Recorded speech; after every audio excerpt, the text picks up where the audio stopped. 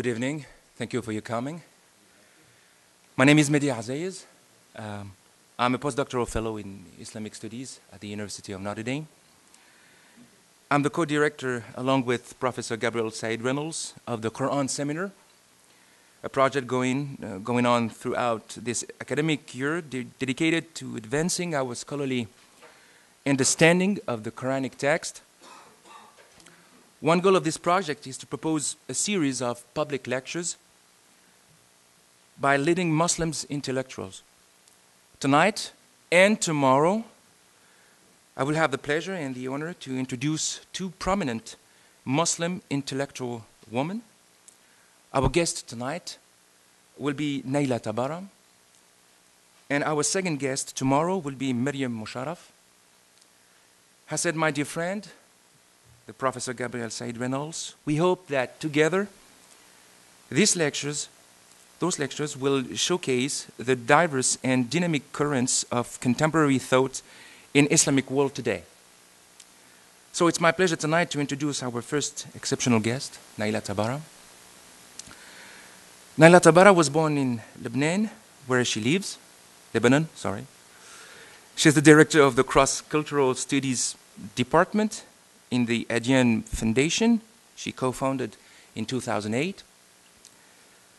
The Cross Cultural Studies Department works at the local, regional, and international levels and aims to promote cross-cultural teaching and learning about cultural and religious diversity, helping young generation to think, communicate, and act in a multicultural global world. In addition to her, uh, to her responsibility as director of the Cross Cultural Studies Department, she's a distinguished professor of religion of history in different well-known institutions and universities in Beirut, like uh, St. Joseph University.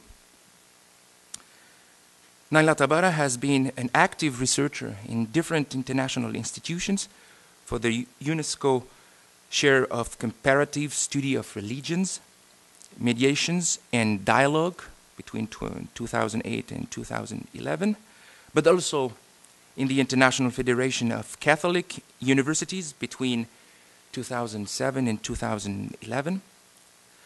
She was also a member and researcher at a French association called Groupe de Recherche Islamo-Chrétien, GRIC, between 2005 and 2010.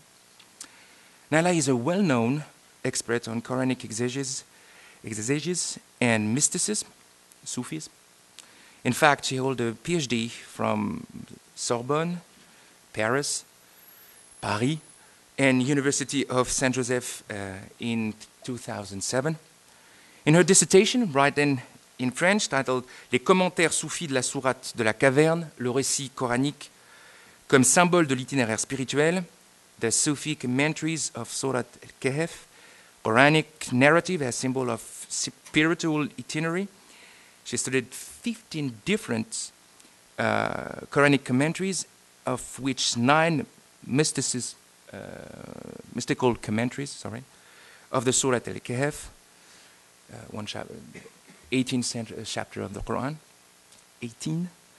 In addition to her knowledge and expertise in Quran and Islamic religious studies, she's also an expert on interfaith dialogue, Muslim feminism, and world religions.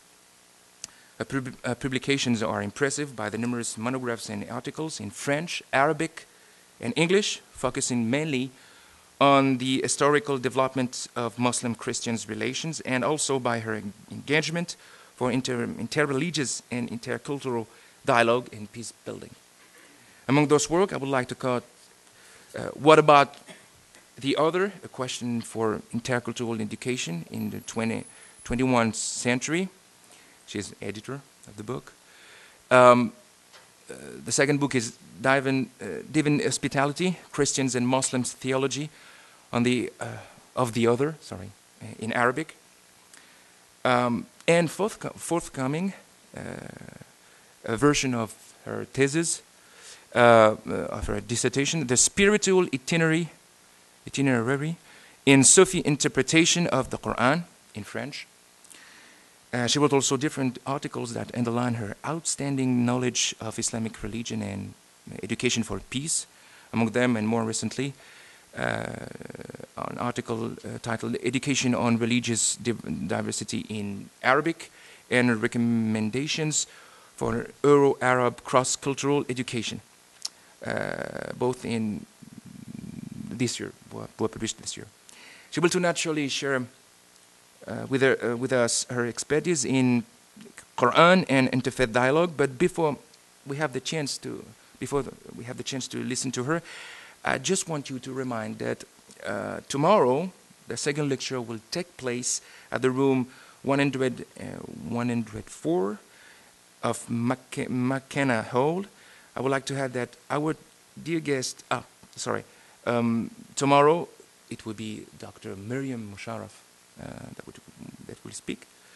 Um, I would like to add that our dear guest will speak 40 or 45 minutes, and we will have the possibility, you will have the possibility to ask questions during 15 or 20 minutes. So tonight we have the pleasure to listen to uh, Nayla Tabbara for a lecture titled The Quran and Muslim Christians Relation. I'm sure you all join me in welcoming Professor Nayla Tabbara.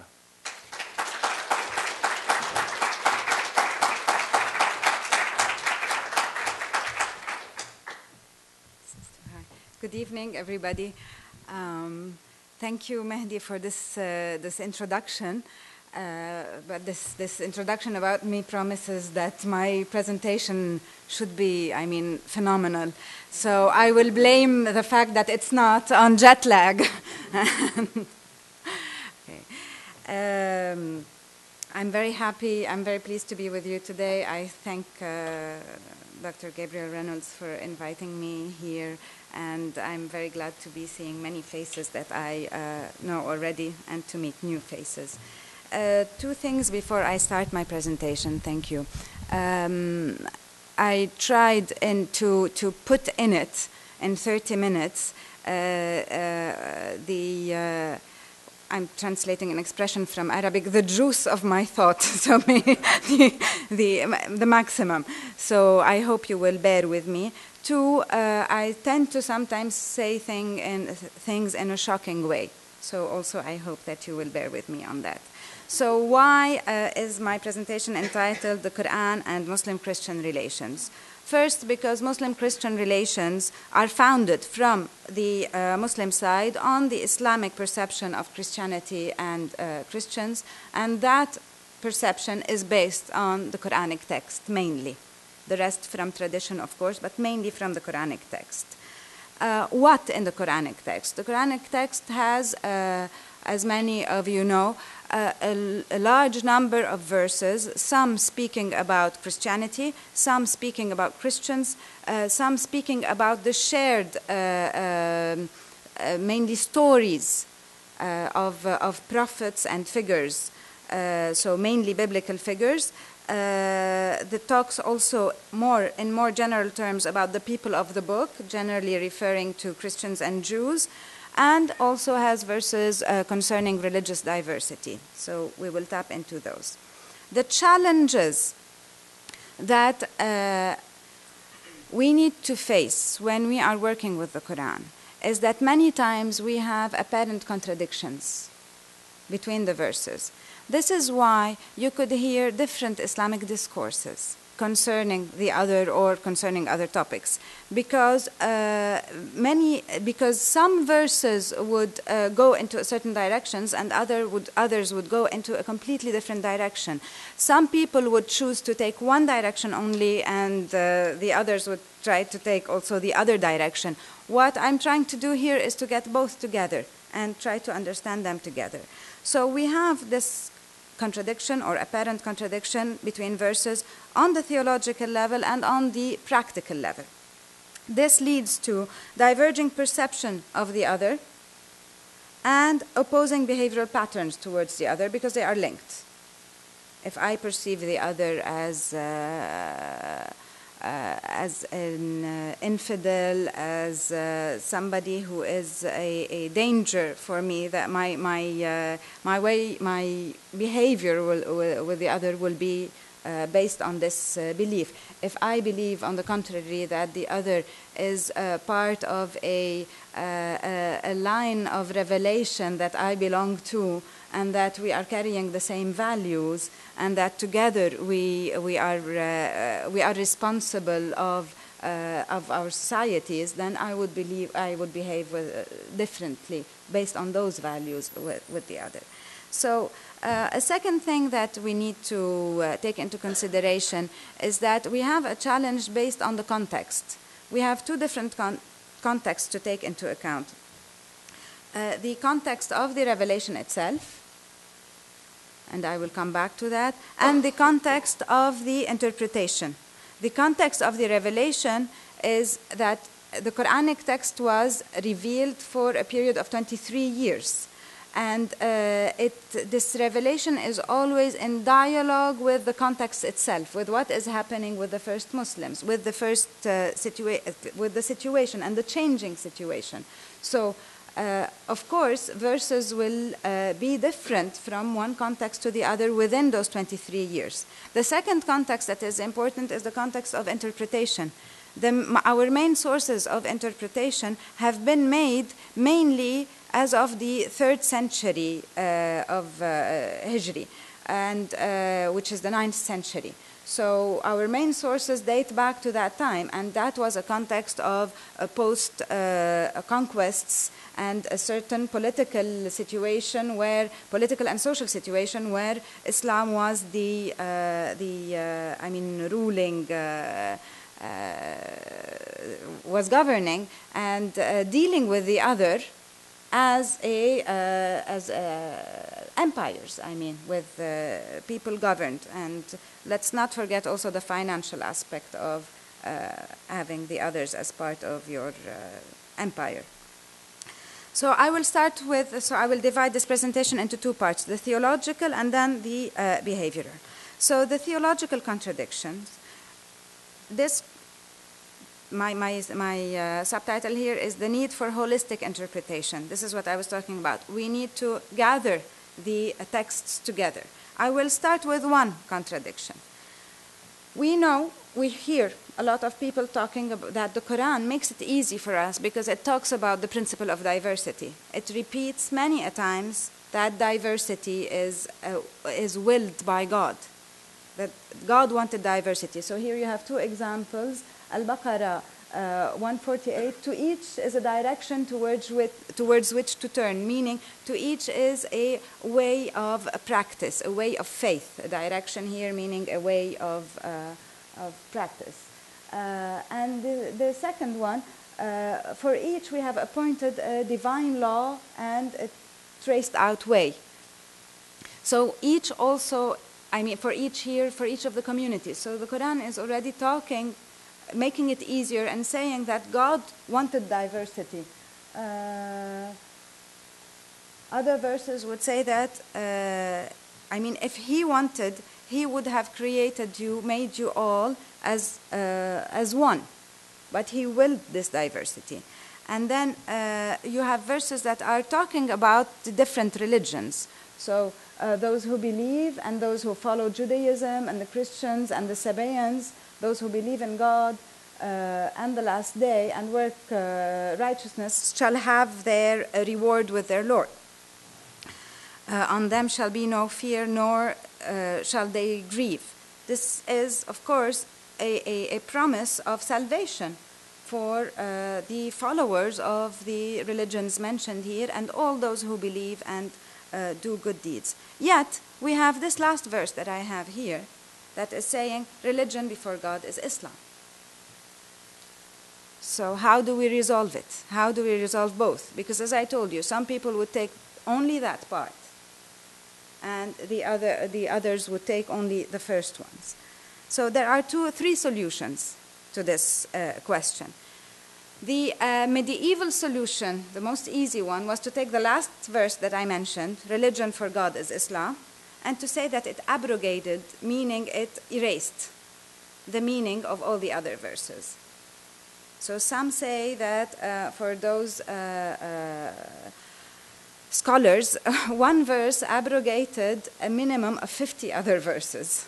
erased a minimum of 50 other verses. So that was the easy way out, and the easy, but I mean, uh, closed, let's say, uh, way out, way out, or exclusivist way out. A second way out that we find more and more these days, that is more common today.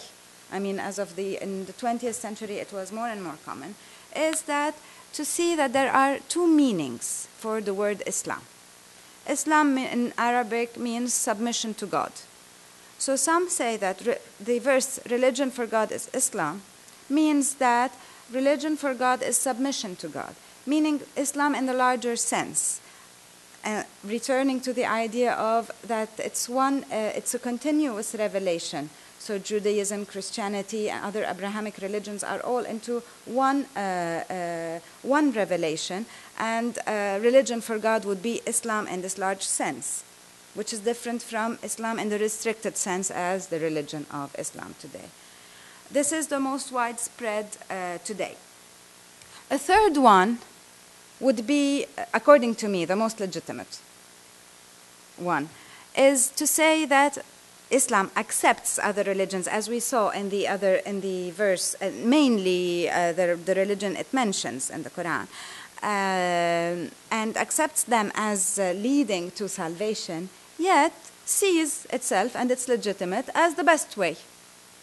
Each religion has the right to accept others, yet always promote that it's the best.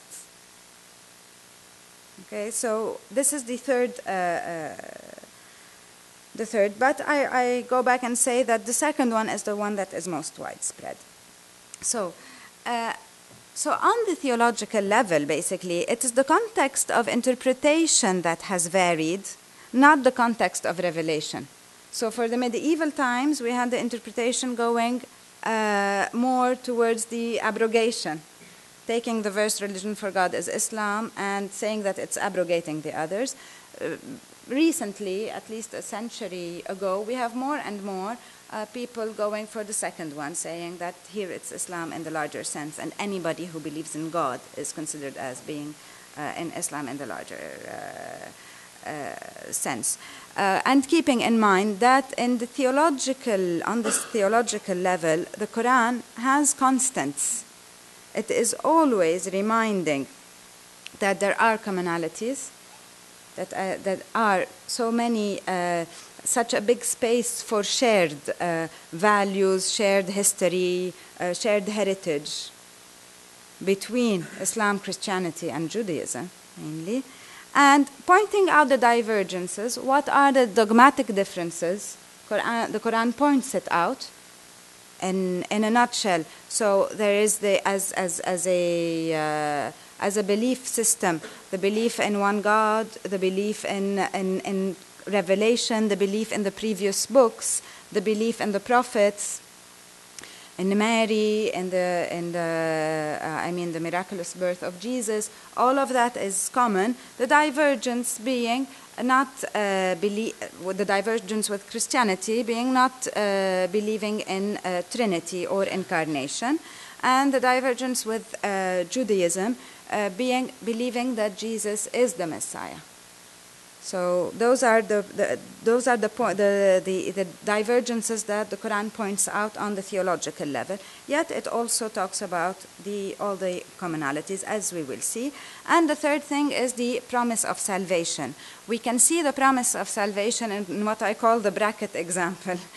Um, you know that the, uh, as uh, mentioned before, the uh, first phase of revelation of the Quran uh, uh, excuse me, the, the, the time of the revelation of the Quran is divided into two phases the Meccan phase, the beginning, and then the Medinan phase, the last 10 years. The Medina phase uh, starts with Surah Al Baqarah and ends, according to many, with Surah Al Ma'idah.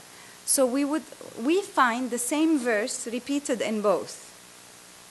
And that verse is talking about salvation for uh, Christians, Sabaeans, and uh, those who follow Judaism, for Jews, and for any who believe in God and uh, the last day.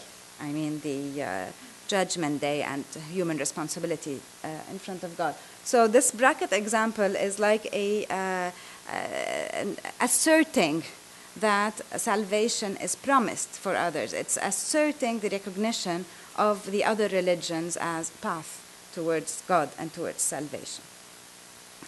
Okay. Uh, and in a nutshell, the Quran's theological position is that salvation does not depend on the identity. It is not your desires nor those of the people of the book. Whoever works evil will be requited accordingly, and whoever does good will also be uh, rewarded, I mean, accordingly. And ending here also with the best religion is submitting to God, the way of Abraham. The Quran always remi- reminds of the way of Abraham. So, with this, I close the theological part.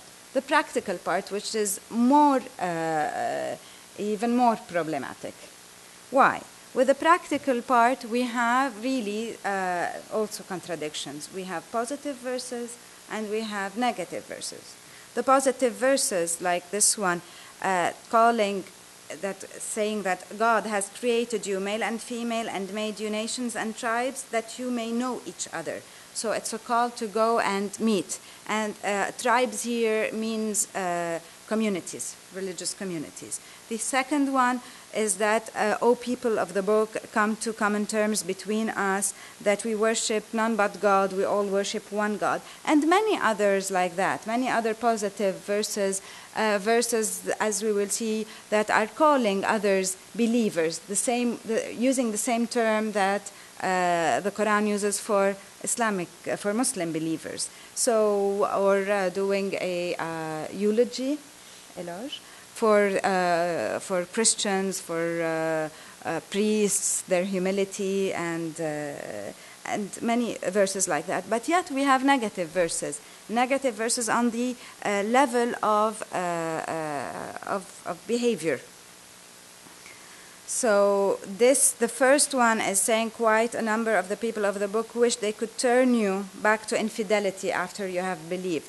So it is calling for a sort of not trusting the other. The second one is, I mean, this is the verse called the verse of the sword. It's fight. Fight those of the people of the book who believe not in God nor the last day. Okay, so it's a call for fighting. And uh, the, the, third one is also saying again, do not trust and do not take them for allies. So we have the positive and the negative.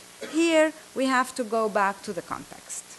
So I will remind you between 609 and uh, 622, the first phase of revelation in Mecca. Okay, this first phase of revelation in Mecca is divided into uh, three phases according to, uh, I mean, people who work on the Quranic text. Uh, we will see together the verses in those in those phases. The second phase is to is commonly known as uh, the Medinan phase from uh, 622 till 632. Um, my work on the uh, verses concerning the other and concerning uh, the the people of the book mainly Christians and Jews shows that we can talk about actually three main phases of the Quran the Meccan, the Medina, and a third phase of uh, opening. So I'll just let you, uh, I mean, go through the text. I will lead you through the text, uh, each phase with an example. The first phase of Mecca uh, the the uh, the the community uh, of the first uh, uh, of the first Muslims had very little connection with either Christians or Jews. There must have been some connections in Mecca, but very little, not with communities. Yet they feel as if they, they have this sort of identification. Here, this, this, the verses I'm choosing here are talking about Christians who were persecuted in Arabia and who were put on fire. And uh, the, the, identification is very clear between the, the, Muslim, the first Muslims with, so, with, uh, with uh, those Christians who were killed. So uh, it's, it's a curse on those who, who made the, the, the, fire and uh, who watched as they witnessed that they were doing against the believers, the Christians here. Okay? And uh, they ill treated them for no other reason, reason than that they believed in God. So it's sort of an identification of the first Muslims who were being persecuted and who feel that they are treated exactly the same way as those other believers, the Christians who had been persecuted. Mecca second phase, we have the feeling that the first community of Muslims feels that it is one community with the other believers from other faiths. So this and this this this verse is saying this community of yours. It was talk, in the context where it's talking about where the Quran is talking about the other communities. This community of yours is one single community, since I am the sustainer of you all. So a, a, a- a feeling of belonging to one community. Okay. Uh, and then the third phase also in Mecca, we find a verse like this one that they do not argue with the followers of earlier, earlier revelation, otherwise that, than in a most kindly manner, and say, We believe in that which has been bestowed from uh, on high upon us, as well as that which has been bestowed upon you. For our God and your God is one and the same, and it is unto him that we shall surrender ourselves. So, all the Meccan phase, we have this feeling of being one community of believers. Now, in 622, the first Muslims will uh, go uh, into, uh, into Medina. Uh, this is the Hijrah, this is where the, when the calendar actually starts. And here they will have relations in Medina, especially with the Jewish communities of Medina.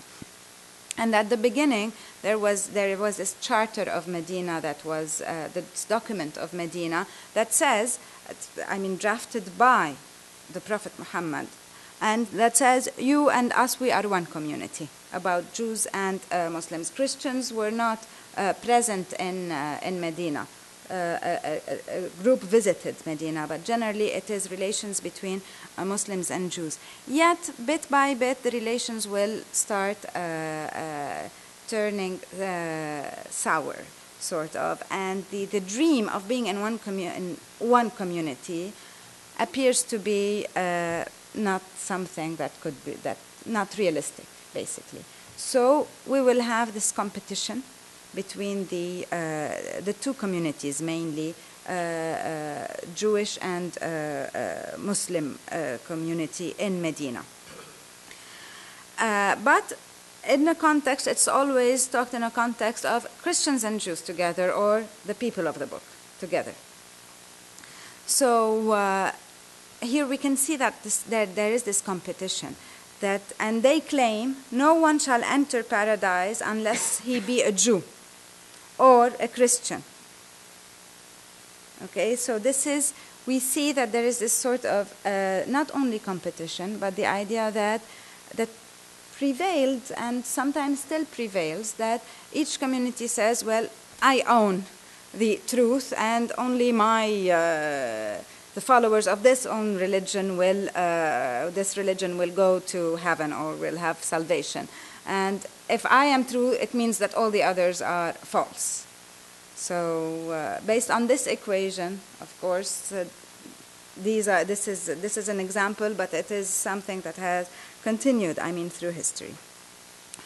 Uh, a second phase in medina is the uh, is the phase where uh, we feel that we're moving from trying to uh, still trying to dialogue, but mainly accepting that there is a demarcation line that there will no be there will not be one community.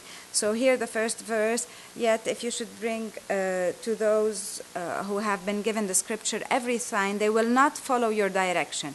Your direction meaning the Qibla, your direction meaning the, the way, I mean, you practice uh, your faith, and you are not a followers of their direction. So here we find this separation, with at the same time, and the same period, still a call for dialogue. Come to a word agreed upon uh, between us and you. The third phase will be, I'm just saying in a nutshell, what uh, will the development of this, this divergence the, uh, or demarcation will be combats. There were actual combats. And it's at, in this phase that we have the verses, one of the verse that I quoted before about fighting. Okay? So this is it. So yet when we see when we study all the verses that are talking about the other and mainly the people of the book we find that there is a third phase other than the meccan and the medinan so this is my thesis this is my theory. Uh, with this phase we see that there is we're, we're moving from first uh, wanting in the medina time wanting to be one with the old community then uh, seeing that there is no way, and then divergence, and then conflict, and third, accepting diversity and seeing a certain unity in diversity. So here it becomes uh, first talking about diversity again. For every community, we have appointed a rite that they may mention God's name over. And uh, so accepting that again, that there is this diversity and that it has been, it is willed by God. Two, reconciliation.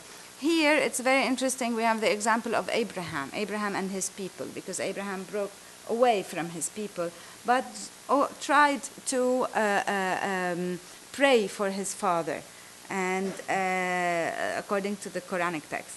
So um, the, the, the story of Abraham is mentioned again here with a verse that I put in bold here. It may be that God will bring about between you and those of them with whom you are at enmity affection.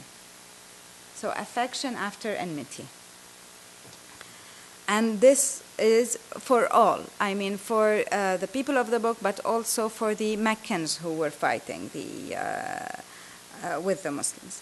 And also in the third Quranic period, we find this, uh, this verse that is quoted in all uh, uh occasions of uh, Muslim Christian dialogue or uh, dialogue where there are Muslims that I mentioned before that God has created people to know each other, to meet, and, um, and the noblest is the most fearing or the most pious. So, uh, and so we see that we are moving from uh, combat to accepting diversity to reconciliation, pardon and reconciliation, and openness, openness to, uh, to others uh, and to all communities.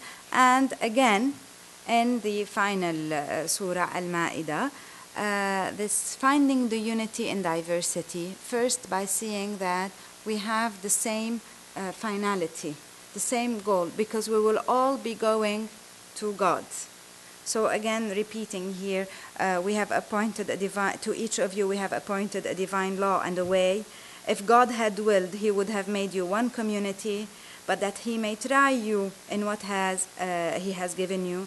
So vie with one another in good deeds, compete in good deeds. And to God you shall all return, and he will then inform you of that in which you differed. So, uh, so the call is to see that there is a unity with God afterwards. So here, instead of spending time in, in polemics, uh, compete in good deeds. And, uh, and finally, this unity and diversity and the simplest ways in society, which is eating together and uh, marriage.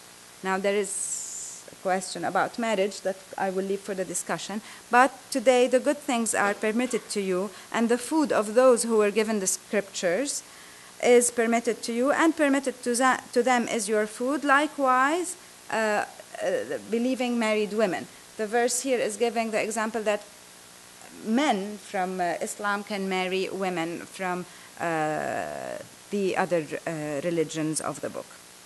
So, as a, as, a, as a synthesis, the Quran's pedagogical example is in three phases. One, this, this dream of becoming one community that turned out to be unrealistic. Two, divergence and conflict.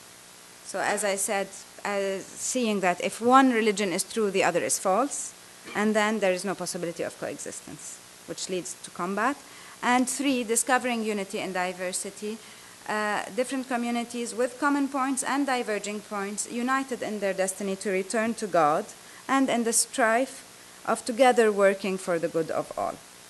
I would like to conclude with two uh, examples from, uh, from real life, actually. One is from a 10 year old student in a class I was giving on world religions, and she turns to me and says, Nayla, can we say something positive about another religion and without it being harmful to our religion?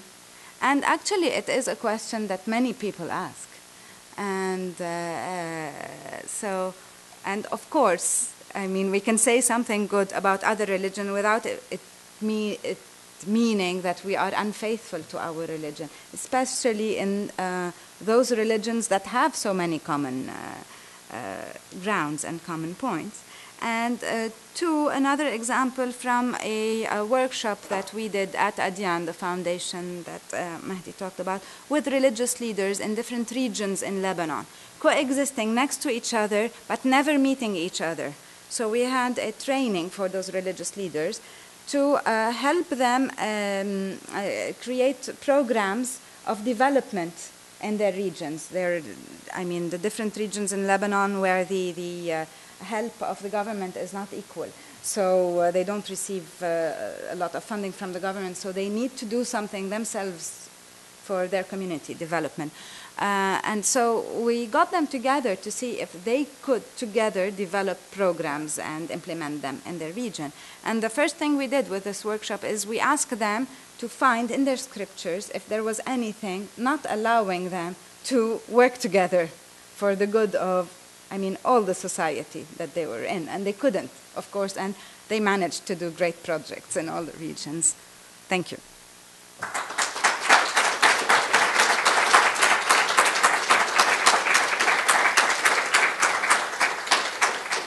Thank you, Dr. Tabbara. And before we begin um, questions and um, conversation, um, I'd just like to say a word of like exhortation um, before the question period, and um, um, in particular to mention that the reason why, as part of this sort of nerdy academic project, we have the Quran seminar, that we have these sort of public lectures, is because we don't want the only thing that comes out of this project to be sort of nerdy intellectuals sitting in a room um, and only speaking in this technical language that is only comprehensible um, to um, the, the small group that's there. But we'd like to speak about the very important topics of Islam and Muslim-Christian relations in a way that invites other people into the conversation and also touches people in their faith life. So um, otherwise put, please um, don't be shy to ask a question. And in particular with Dr. Tabbara, this is a unique opportunity since um, she's someone who's um, an elite uh, intellectual who did her PhD at the Sorbonne uh, in Paris, um, which is almost as good as Notre Dame. but at the same time has dedicated her life to um, working to build bridges in Lebanon, which as you know is a country that's been torn apart by sectarian strife. So she really cares about connecting with people. So please ask questions and uh, add your own thoughts. And if you don't, I'll just keep on speaking. Yeah. I don't know very much about uh, the Quran myself. Uh, growing up in a an evangelicals or fundamentalist home, the it was common to, to see books on the shelf about the Quran that seemed to take the first approach to reading the Quran, this kind of medieval traditionalist interpretation, except for Christian evangelical scholars reading the Quran with that kind of perspective. So they take the rigorous approach and they want to point out all of these passages that seem to exclude this community. And so I'm interested in um, this approach, this, this, this way of reading that you have, and I'm, I'm wondering how one tracks the different phases in the Quran. How does one know when one passage was written, um, and then how do you sort of put it into that into that box, and then help people understand that the Quran is this layered uh, way of revealing things. Okay. Um, thank you for this question. I would just also like to point out that, as you said, that there were those sort of books I mean, also in uh, in Islam, there are many books that are also in this in this uh, in this uh, vein, uh, trying to point out the, uh, uh, I mean, wrong things or I mean things that they don't agree with in the Bible and and still today. I mean, this is. Um, Second, your, your question is that ha- there has been scholarship, whether uh, Islamic scholarship or uh, uh, Orientalist scholarship. But today, I mean, I don't think we divide anymore like this. Today is, I mean, there are uh, Quranic studies uh, that uh, that study the text first on the level of the language itself, because you can see in the text the development of the language and the length of the verses and the themes, and this allows to uh, to divide and to see uh, which. Uh, uh, which verse or which um, chapter of the Quran comes before the other. Now, there is no uh, uh, one uh, uh, chronological order that everybody agrees upon. There are always also uh, differences between one scholar and the other, but there are main schools that have uh, uh, their own chronological uh, orders. um, Islamic argument three levels of like chapters or surahs and last one, which I didn't get if it's the historical period that you were trying to say because Medina would be the end of it. Yes, so exactly. Is it that you divide Medina period to first like being uh, confrontational and then becoming more realistic in a sense that there's a space for shared belief and shared like commitment Yes. of religions. And the surahs that you mentioned, are they like historically the later Medina surahs that bring up the idea of like compromise and recognition and uh, appreciation of other religions or like? Yes, yes, it is chronological now, of course, but there are differences between uh, some uh, some chronologies. For example, the the uh, sword. uh, Remember the verse on the sword. Uh, that for some is put towards the end, uh, and others just put it push it a bit back. Uh, I am with the ones who push it a bit a bit back because of the end. Uh, we can see a certain unity in the in the end, uh, uh, the last surahs. And uh, historically speaking, also we have the Medina phase, but at the end of the Medina phase, we have the reconquest of Mecca, the return to Mecca. So also historically, there it's not just one block, one Medina. There is something in the end. There is something different, which is the return to Mecca. Kind of by um, saying that we, have to go back to the Quran to uh, for these sources, but um, but then as you as you develop, there are inevitably contradictions, and and one runs into the problems of interpretation and canon and the like. Um, are, are there strategies uh, that that you can uh, available in the Islamic tradition for doing kind of an end run around scripture uh, in favor of kind of natural law arguments for uh, pluralism um, and um, uh, I mean, obviously, they couldn't be they couldn't ignore the, the canonical text, but as, as an alternative source of authority, um, that that might um, kind of avoid some of the problems that interpretation of scripture. I need somebody to translate the question. so are there strategies that would allow um, a Muslim scholar to acknowledge more perhaps rigorous passages, passages in the Quran, but saying we have other sources for our, our religious thought, whether that be hadith or maybe more philosophical reasoning Yeah, I think that have to be put in balance with the Quran? Yeah. Yeah, like with the Talmud and, and medieval period, you know, figures that are thinking in terms of natural law and uh, uh, as a way of grounding um, Yeah. a theory of tolerance uh, Yeah. or Yeah, there, yeah, there is, if you like, some um, wha- seeds for this natural law, but it's not yet uh, not yet developed. I would argue, though, that the best way is to uh, let the Quran speak and take it holistically. I mean, take a theme and see it in the whole Quran instead of going uh, to the other sources. I mean, like the Hadith, and uh, because uh, um, as we know, I mean, the Quran has been uh, written uh, down during, I mean, the time of the Prophet or just after it. Where, whereas Hadith, we have to wait uh, uh, at least a century and a half to have it uh, written down. And likewise for the Sirah, the biography. So uh, the most I mean, secure source would be the Quran itself, and to go back to it. And uh, I mean, this this what I showed. I mean, or uh, is more a way of uh, working with the with the Quranic text without going to Hadith and without the need of. Uh, other sources, but I mean resolving things according to uh, uh, contextualization. Claire. Um, yeah, thank you very much for the lecture. I have one question I'm hoping will be, uh, clearer, we'll see.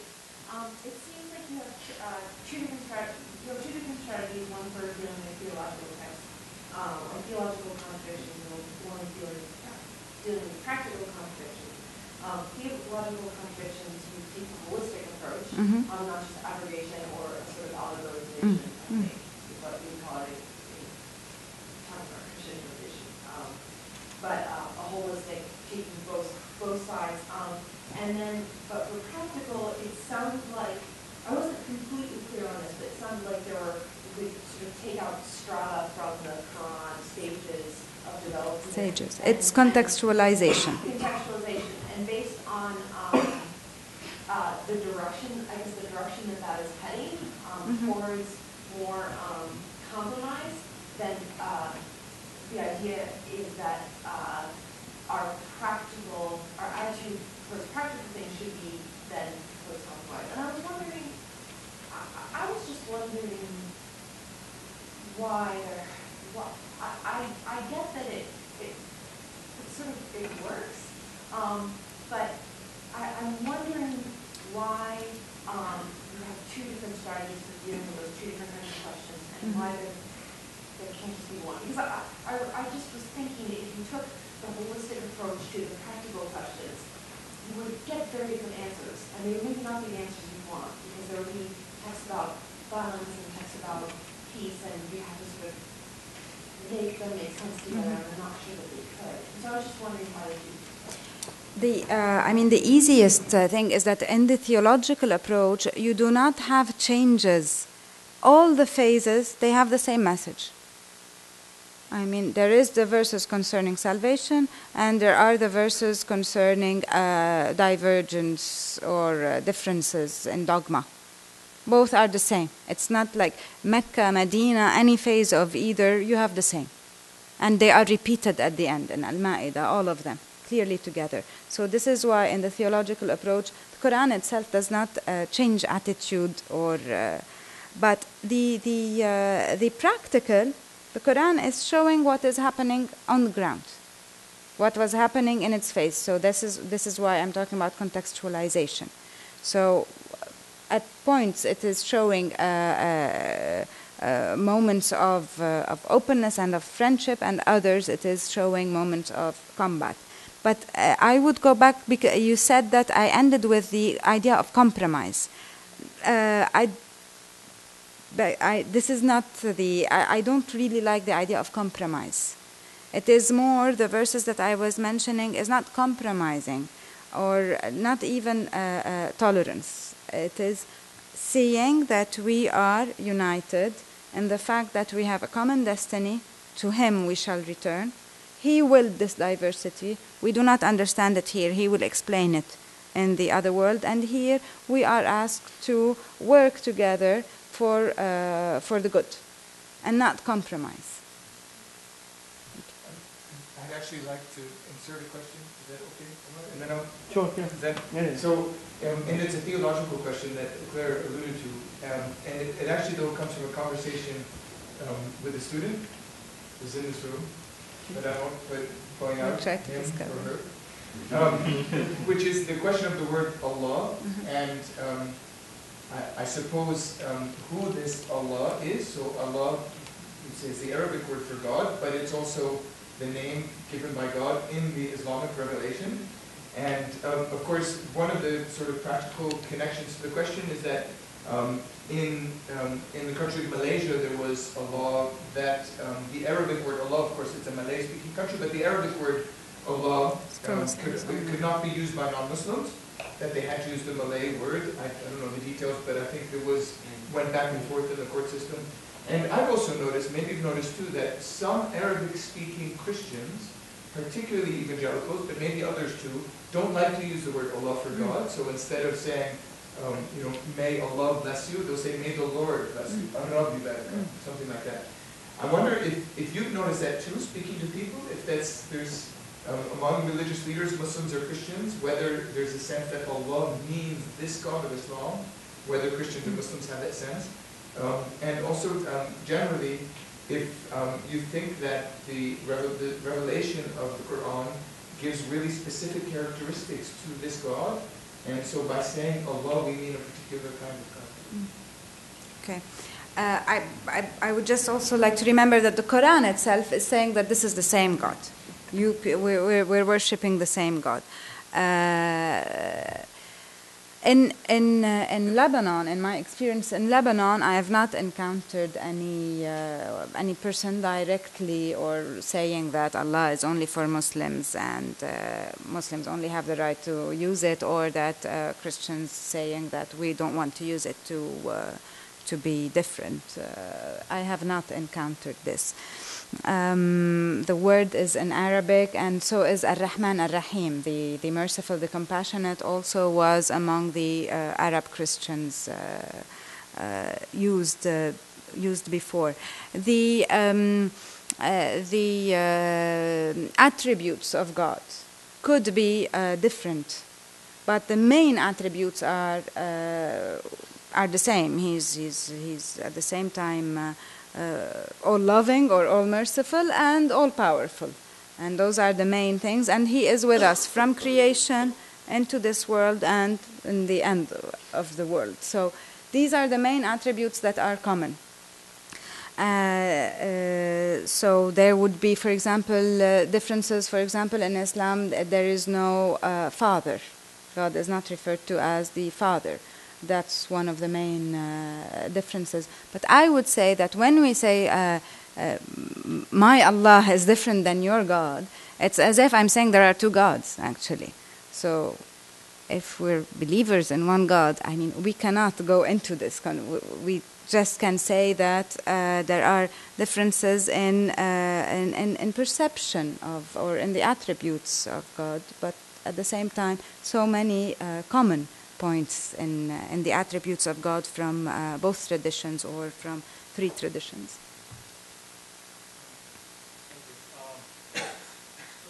First, I'll, I'll say something about the, the, the natural law point. I mean, I'm wondering, uh, the, the Quran, I mean, there is some sort of scriptural uh, grounds for that, right? I mean, fitra, uh, human nature, and people have used uh, the Quran to sort of try to derive a conception of, I mean, natural law is too strong of a word over there, but especially when, when engaging with non-people of the book communities.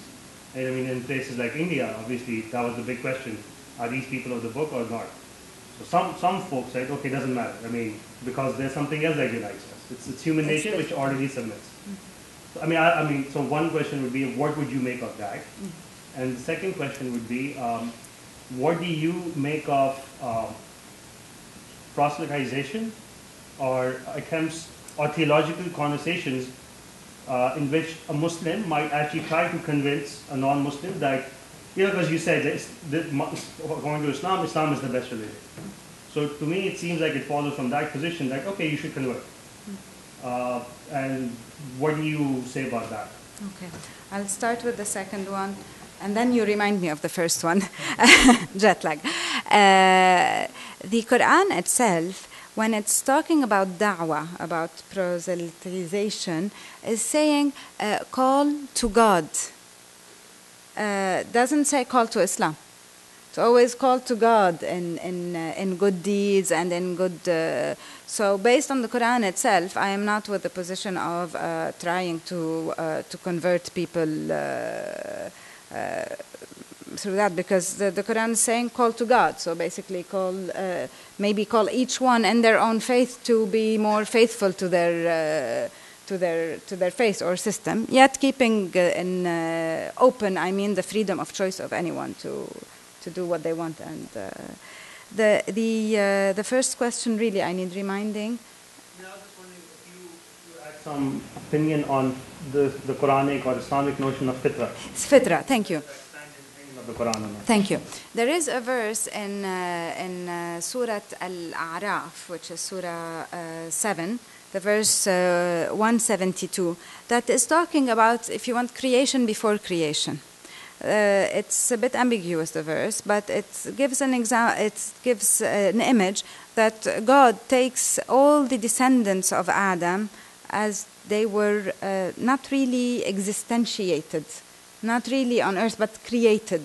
So this is a pre-creation, as, uh, as if they call it alam al the, the world of atoms. So God takes them all, all the people who will become, who will be, and asks them, Am I not your Lord?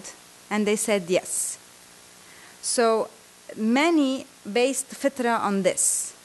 Humans are created with this, believing in something, believing in God, believing in the Creator that is, is higher, I mean, uh, higher than them, and uh, uh, are, are called, I mean, to, uh, to act according to this fitra or to find it again. And that actually God uh, helps humans reach this fitra or this, this first stage either through revelation, through the religions, or through personal uh, revelation or through, personal uh, inspiration or reminding through the through life through uh, problems obstacles good things where a human is goes back within to, to remember who is the sustainer who is the giver who is the creator. So this is of course a very good ground to say that uh, um, not to stay in the level of the people of the book as other religions, but all humanity. And there are so many other verses that talk about the dignity of uh, given by God to all humans, and that also God put uh, uh, nafaha, He um, breathed His spirit into Adam, and we are all from Adam. So all of these uh, different elements may uh, be the grounds for seeing, I mean, uh, uh for opening, if you want, the, the, uh, uh, all this argument, argumentation to others. Also, there are verses in the Quran that talk about many prophets.